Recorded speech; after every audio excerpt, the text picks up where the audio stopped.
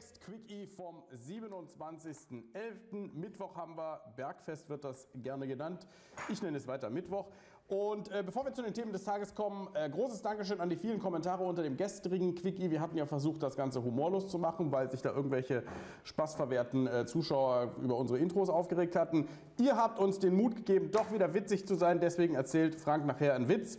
Jetzt aber erstmal die Themen dieses Tages. Viel war gar nicht los heute am 27. Dafür gab es gestern Abend noch eine Knallermeldung, nämlich GTA San Andreas, quasi der dritte Teil dieser in 3D gefassten GTA-Reihe. Der kommt jetzt im Dezember auch noch auf Android-Geräte, auch auf iOS und Windows Mobile oder wie das heißt. Ähm, für uns aber interessant, kommt im Dezember auch auf Android. Äh, zum Preis wissen wir noch nichts, aber wir wissen, dass im Gegensatz zu diesen beiden vorherigen Teilen, die es schon für Android gibt, also Vice City und halt GTA 3, dass hier wohl auch nochmal grafisch gearbeitet werden soll. Also da sollen bessere Schatten reinkommen und überhaupt äh, die Grafik soll irgendwie optimiert werden. Ich freue mich drauf, wieder ein Spiel, das ich dann für 6, 7 Euro runterlade und die erste Mission nicht zu Ende spiele, weil ich dann merke, dass es doch aktuellere Titel gibt, die ich lieber spiele. Trotzdem, schöne Nachrichten von Rockstar, GTA San Andreas im Dezember noch auf, äh, in den Play Store. So, was haben wir noch? Gestern hat der Kollege Andreas einen Artikel über Project Swelty oder Svelte, wie wir es skandinavisch angehaucht hier in der Redaktion nennen, geschrieben. Das ist diese Optimierung in Android 4.4 KitKat, die dafür sorgt, dass dieses, äh, diese OS-Version theoretisch auch auf sehr hardware-schwachen Geräten läuft, die eben nur 512 MB RAM und sowas haben.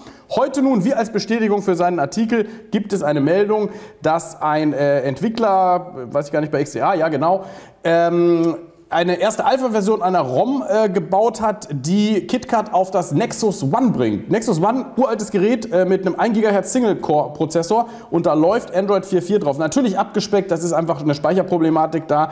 Äh, deswegen mussten gewisse äh, Teile des Betriebssystems, also Applikationen hauptsächlich rausgenommen werden. Aber im Prinzip läuft das Ganze und ähm, wie, äh, sagen wir mal, massentauglich das nachher sein wird, bleibt abzuwarten. Aber als Machbarkeitsstudio ist es ein feines Ding, dass eben Android 4.4 KitKat auch auf einem so betagten Gerät wie dem Nexus One läuft.